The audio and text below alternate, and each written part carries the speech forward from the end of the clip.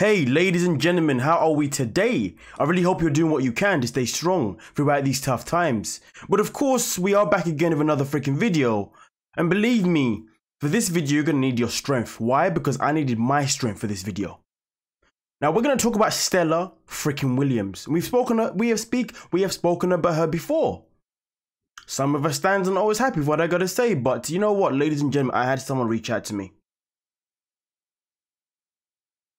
And they sent me a video that they made personally. Okay, this is the video itself in particular, and I'm going to link you the. I'm gonna link this video itself in the description because I really believe it's worth you watching. And um, I'll be honest with you, I didn't even have an opportunity to finish all of it because it was difficult. It was difficult, difficult to watch, you know. And the reason being is because something that I always talk about when it comes to holding people accountable he's always talking about how how influencers don't realize how much influence or not even don't realize how influencers don't care about how much they're influencing other people when they're on YouTube talking whatever they're talking about, claiming to have whatever they're claiming to have. And Stella Williams is one of those people that I've called out several times. And it's interesting because um, there's been two different occasions where Obese to Beast has called her out, okay, or, or he at least made a video about her. And she's done whatever she can possible to make sure that she responded to those videos. Probably because he's a bigger YouTuber, so therefore there's clout around it, which I can respect. You know what I'm saying? The hustle is the hustle, right? Will she ever, should she ever come and, I mean, has she ever seen my videos? I don't know. Will she, if she has, she's obviously chosen to not react to them. Probably because I'm a small YouTuber, which is fine. I get it, you know what I'm saying? The hustle is the hustle. But you know what? I had already planned to make this video. But just before I decided to plan this video, this was sent to me, you know, and it made what I'm about to say here, it made my case against Stella William so much more stronger than I thought it would be. Now let's talk about Stella Williams when it comes to her diagnosis. This is a woman that has, you know what? Listen, I'm gonna I'm gonna show you something. Let me not let me not speak real quick. Let me show you something real quick, okay? Stella Williams did her own reaction to Obese to Beast because Obese to Beast done another video on her. Okay? And he said what he said. And listen, ladies and gentlemen, I said it before in an Amberlynn Reid video about how I don't really find it fitting for Obese to Beast sometimes to make reactions on certain people. Reason being is because when he makes a reaction, he doesn't react to the mental side of this person, the psychology part of this human being. And when you're not reacting to the psychological part of this human being, you are then going to be giving them excuses for them to use to their own advantage. That's something that I said before when it came to the Amberlynn Reid video. When he made a video about her, he made not one, but he made two videos about her. And in both of them, he said that he doesn't follow him that much, which bothers me because then when he makes the videos about these women, even though his information is correct or his information is good, it doesn't relate to these women per se because these information is information that these women already know and they already use to their advantage to influence others in the wrong way or to at least make people believe things. But listen, let me go back a bit. I want you to listen to what Stella Williams has to say in this video. Things I feel like he could be really harsh. Uh, so I watched like a minute of it and then asked if people would even be interested in a response. Everyone. To be honest with you, in this video, she claims she hasn't seen the video yet. I think that's BS. Yes, so the, here is where we are today. But I'm Googling right now Obesity's real name because I don't feel like that's on his birth certificate. John. So we're now, we're not going to watch all of this video. We're not going to watch all of it, by the way. Just more respectful for me. This video that we're going to be responding to today is called Stella Williams Can't Lose Weight on the Internet. My thoughts, which is interesting because I never said I couldn't. So I'm interested to see what he got out of my video. Scared to lose weight is on the It's funny though. She says that she couldn't. But the thing is though, Deary, you made a vlogging channel called Hella Stella, right? Where she went back and forth, back and forth. And on that channel itself in particular, she kept coming up with new diagnosis of a diagnosis of a diagnosis. Now, I'm not saying she's lying per se, but each time you say you got this diagnosis and you got this diagnosis, you're influencing other people who actually have those diagnoses to look at you and say, I wonder how you're going to deal with it, which relates to this video itself in question.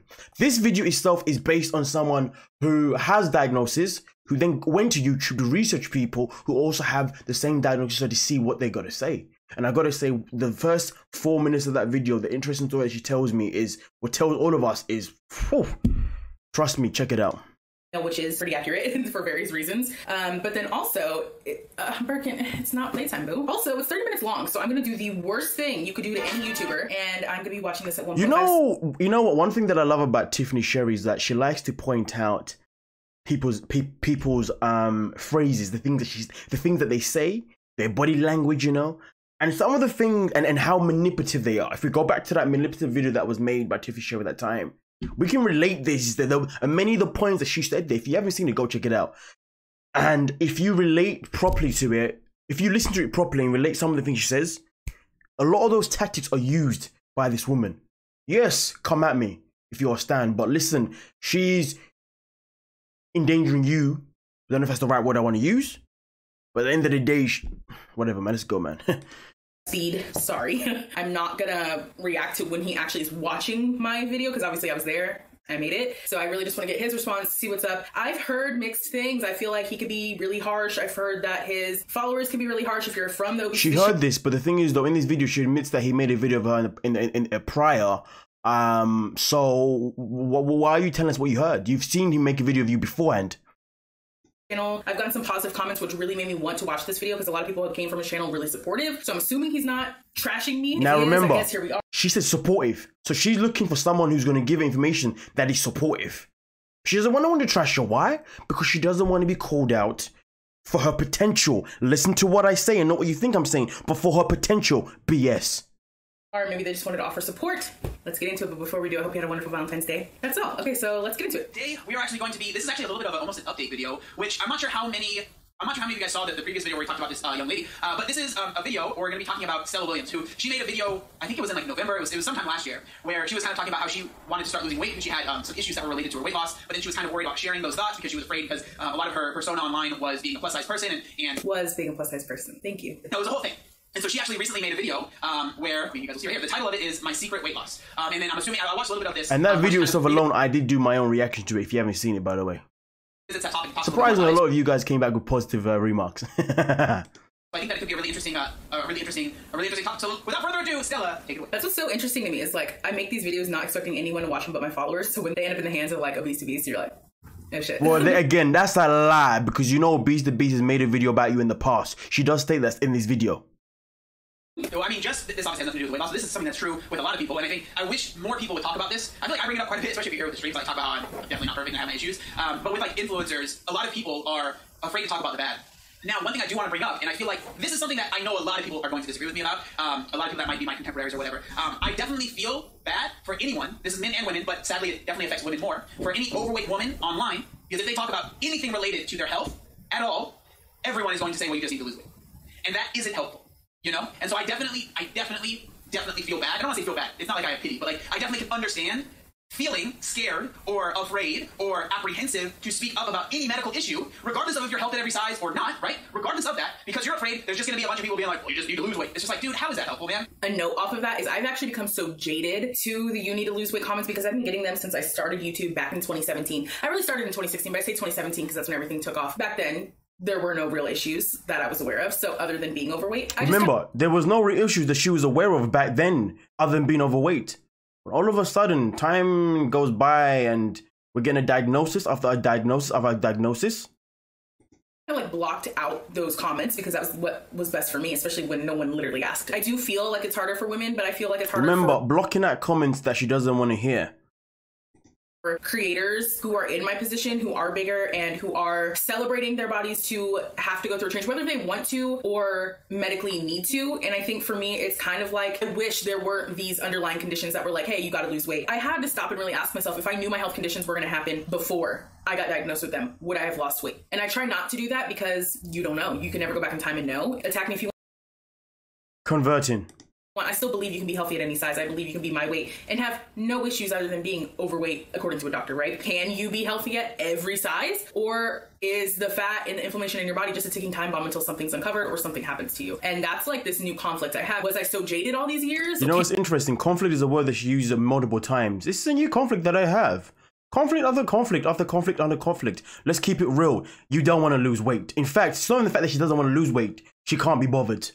And she keeps telling the same story of again and again and again. Now, let me tell you about Hella Stella, the channel that she had that she took down. Hella Stella was a channel that she had that was her vlogging channel. And not only was it her vlogging channel, it was also the channel that she had where she spoke about her weight gain, her weight loss, being a vegan, not being a vegan, up and down, up and down, getting a reading from her mom, which was very, you know, whatever, going live after live. That's what it was about, right? So she deletes that channel. Now let's forget about why she deleted that channel. Actually, no, no, let's talk about it. She deleted that channel because she just didn't want to do that kind of stuff anymore. She wanted to focus on one purpose and one purpose only. Well, ladies and gentlemen, little do you know, little do you know, Stella Williams, pay attention carefully, has made another channel. Look where my head is. Today was tough. What is the name of that channel? Stella Williams Vlogs. Look above my head. What do you see? Stella Williams. Two different amounts, different subscribers, both the same person. So how do you go from deleting one channel called Hella because you don't want to do it anymore, blah, blah, blah, blah, and then all of a sudden, what, a week, two weeks, three weeks, a month later, you go and make another one? For what purpose? So is it because so you can start fresh, so you can rebrand yourself again and start a whole new weight loss journey again? So therefore, people may not be able to pull you up for what you did in the past, or because you're always talking about diagnosis after diagnosis after diagnosis. Listen, end of the day, I don't want to be the person that looks like the bad person because I'm trying to call someone out for potentially faking their diagnosis. But the matter of fact is, though, how are we supposed to support someone continuously who repeatedly, repeatedly, repeatedly says, "Hey guys, yeah, I want to lose weight," uh, but then I went to the doctors and they told me that I had this diagnosis. Oh yeah, sorry guys, I went back. I went back again, and this time I've got. I've now got another one, and then another one, and this is where you affect people like this.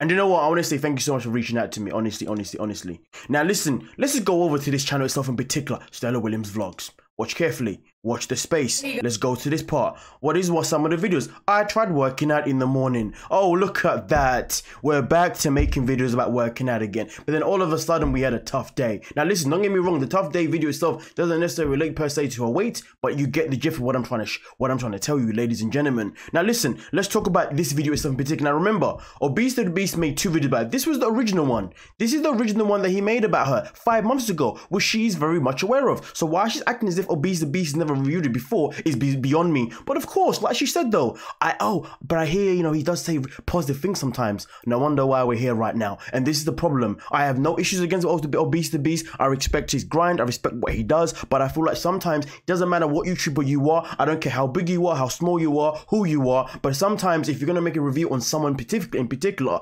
please, please, please, if you can, try and do try and do like a try and do like at least a mini audit on them to kind of find out what is the pattern here before I give this person advice, I want to see where the pattern is of why they've been unable to lose weight. And therefore, when I make my videos, I can at least do my best to keep it as 100 as possible. But if I'm making a video where I'm generally giving back my feedback on general advice that I would generally do, to be honest with you, that is amazing. That is something that works. But at the same time, though, it doesn't always work for certain people like Stella Williams, Amberlynn Reid, people that have obviously been reviewed more than once by him anyway. You know what I mean? And therefore, we have the, and then we go here, Amberlynn Reid talk about, hey guys, see, I told you, Beast the Beast agrees with me, blah, blah, blah, blah, blah. Stella Williams goes and make a whole video and does the same thing as well.